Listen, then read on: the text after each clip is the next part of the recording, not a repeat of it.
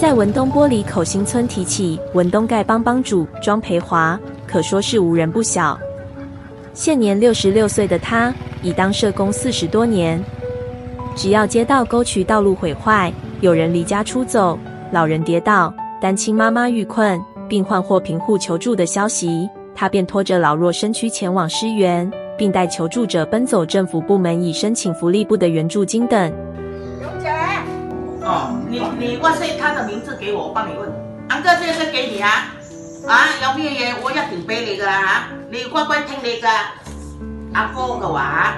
其实我帮人家不是要要他人家讲，呃，不是要人家感恩的，他要感恩，他去帮人，这个就是感恩了，不一定是要用钱，你给人家一个微笑，或者你说好话，人家情商好啊，你给鼓励人家，这个就是很好了啊。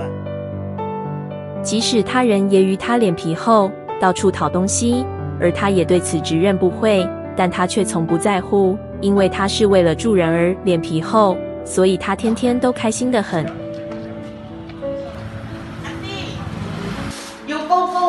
知道冇？